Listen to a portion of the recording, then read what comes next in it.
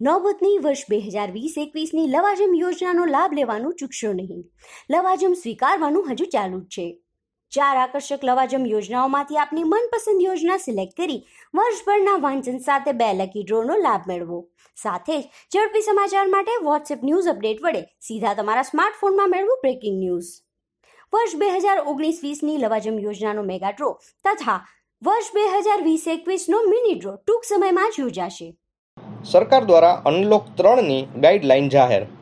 એક ઓગસ્ટથી રાજ્યભરમાં અનલોક ત્રણ અંતર્ગત વધુ છૂટછાટો મળશે. એક ઓગસ્ટથી રાત્રિ કરફ્યુ હટી જશે.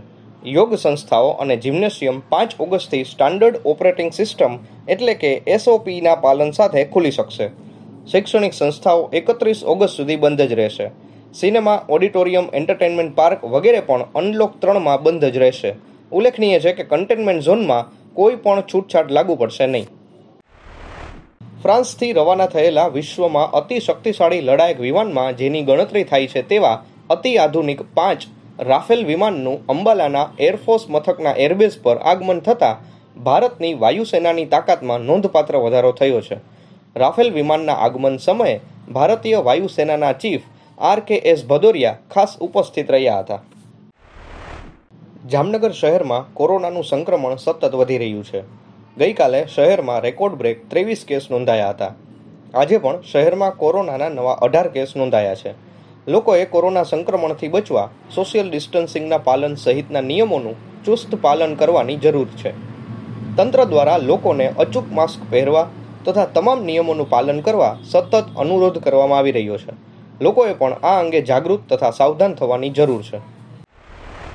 રાજકોટમાં વકરી રહેલા કોરોના વ્યાપના સંદર્ભમાં રાજ્યના મુખ્યમંત્રી વિજયભાઈ રૂપાણી રાજકોટની ખાસ મુલાકાતે આવ્યા હતા અને આરોગ્ય વિભાગના ઉચ્ચ અધિકારીઓ સાથે તમામ બાબતોની જાણકારી મેળવી જરૂરી સૂચના આપી હતી. તેમજ રાજકોટ મહાનગરપાલિકાને કોરોના સંદર્ભમાં રૂપિયા પાંચ કરોડની વિશેષ ગ્રાન્ટની જાહેર કરી હતી. રાજકોટમાં મુખ્યમંત્રીએ જણાવ્યું હતું કે રાજ્યમાં અગાઉ કોરોનાના કારણે મૃત્યુ દર સાત ટકા જેવા ખૂબ જ ઊંચો હતો તે ઘટીને હવે ચાર ટકા જેટલો થયો છે, જ્યારે સાજા થનાર દર્દીની સંખ્યા વધી રહી છે. પરિણામે રિકવરી રેટ ચિમોતેર ટકાએ પહોંચ્યો છે. દિલ્હીના અમિત શ્રીવાસ્તવ તથા શ્રીમતી અર્ચનાબેન નામના દંપતીએ જામનગરના કસ્તુરબા સ્ત્રી વિકાસ ગૃહમાં આશ્રય પામેલા જોડિયા બાળકોને દત્તક લીધા હતા. આ જોડિયા બાળકોમાં પુત્ર ભરત અને પુત્રી ભારતી છે. આ બાળકોને રાજ્યકક્ષાના મંત્રી હકુભા જાડેજાના હસ્તે સોંપવામાં આવ્યા હતા.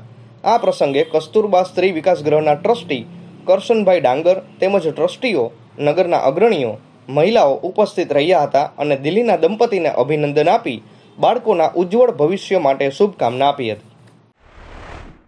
જામનગર શહેરમાં વધી રહેલા કોરોના સંક્રમણની ગંભીરતાને ધ્યાનમાં લઈને સુપ્રસિદ્ધ બાલા હનુમાન સંકીર્તન મંદિર પહેલી ઓગસ્ટથી અનિશ્ચિત મુદ્દત સુધી બંધ રાખવાનો નિર્ણય કરવામાં આવ્યો છે. મંદિરમાં કોઈ પણ દર્શનાર્થીઓ આવી શકશે નહીં. તેમ છતાં મંદિરમાં ટ્રસ્ટે નક્કી કરેલ મર્યાદિત ભક્તો દ્વારા અખંડ રામધૂન ચાલુ રહેશે તેમ ટ્રસ્ટના મંત્રી વિનુભાઈ તન્નાએ જણાવ્યું છે.